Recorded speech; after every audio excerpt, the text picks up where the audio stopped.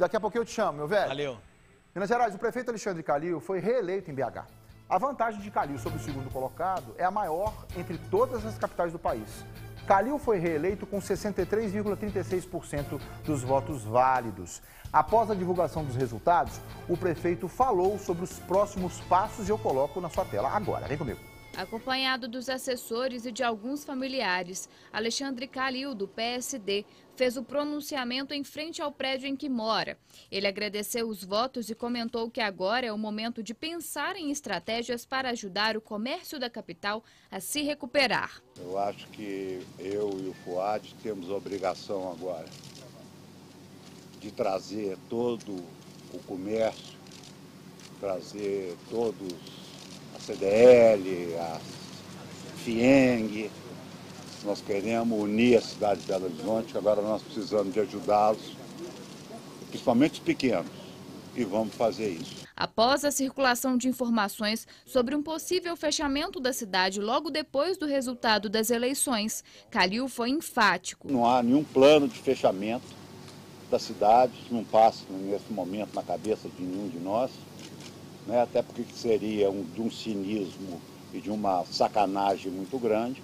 Obviamente, se vier uma onda arrasadora em Belo Horizonte, eu vou tomar as medidas que eu, que, eu, que eu tenho que tomar e isso eu não tenho medo, já te falei. Alexandre Calil também afirmou que não faz nenhum tipo de promessa em relação a se candidatar a outros cargos públicos. Eu não fiz compromisso nenhum com ninguém. Eu não faço compromisso nem de construir viadutos ligando o senhor ao Belvedere, e muito menos que eu vou ficar dois ou quatro anos. Eu não sento numa cadeira pensando em outra. Pois é, e aí, mais uma vez, eu, eu parabenizo ao prefeito Alexandre Calil pela eleição que ele teve, né, pela quantidade de votos que ele teve. Mostrou, sem nenhuma sombra de dúvida, que independente do, do grau de humor, digamos assim, das decisões que ele tomou contra o prefeito, foi super bem avaliado aqui na cidade. Isso mostra os 63%, quase 66, quase 64%, mostram que as medidas que ele tomou vieram de encontro às expectativas dos eleitores. Daí a arte que eu apresento para vocês agora, né? Alexandre Calil com 63,36% dos votos. Lembrando, salvo meu engano, Bela, se você conseguir aí, a título só de informação, quanto foi a votação dele no ano passado, lá em 2016, para esse ano, só para a gente poder ver o, o tanto que Calil cresceu na, nessa, mesmo no meio, em meio à pandemia, tá? A diferença para o segundo colocado, e aí que eu falo aqui, ó, deixa eu virar a Lu, aí que eu falo aqui de 63,36, é, 9, 10% foi para o candidato Bruno Engler.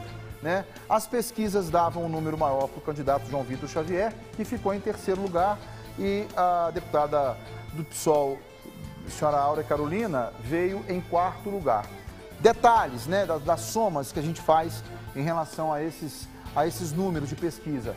É, se unidos os candidatos, ter, segundo, terceiro e quarto lugar, não chegariam ainda à metade do que o prefeito Alexandre Calil alcançou em termos de volta. Na última eleição, 628.050 votos e agora ele coloca aí mais 150 mil, mil votos aproximadamente na conta dele como prefeito. Ou seja, como eu costumo dizer sempre, não é uma votação, não é um número é, que se possa dizer que, que não, se, não caiba outro comentário a não ser uma eleição maiúscula, robusta, né, com números consolidados, com eleitor consolidado e que entrega, volta com a imagem do prefeito Calil na coletiva, por favor, e que entrega ao prefeito Alexandre Calil a responsabilidade, né, a responsabilidade e ele já disse isso, não estou sendo redundante no comentário, a responsabilidade de conduzir a cidade por mais quatro anos. Ainda que haja especificações, acha, ache algum tipo de especulação em relação a, a candidaturas, dado ontem, por exemplo, no Jornal do Estado de Minas,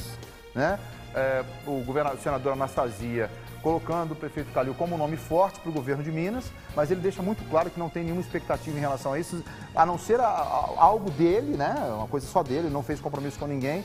Então, prefeito Calil, eu espero do fundo da minha alma que o senhor possa, sem dúvida nenhuma, se debruçar sobre a, as, as necessidades que Belo Horizonte tem. Né? Porque promessas o senhor realmente não fez.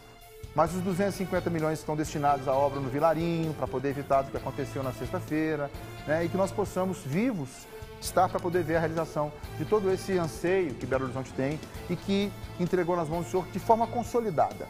De forma consolidada, tá? Tá lá, ó.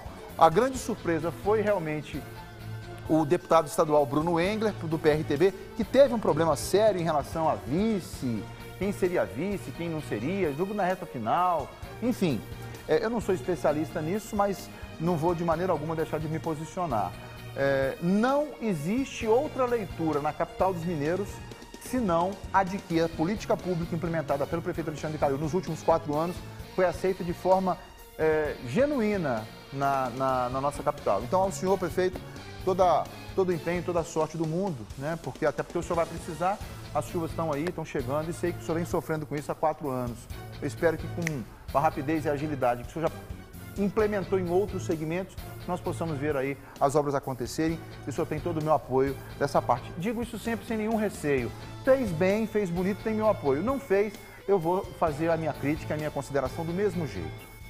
É, o que me traz e me permanece aqui na TV Alterosa é a minha liberdade de falar. E dela não abro mão por nada nesse mundo. Então, faça a coisa certa, prefeito Calil, o senhor vai ter todo o meu apoio. Não fazendo, já sabe como é que funciona comigo.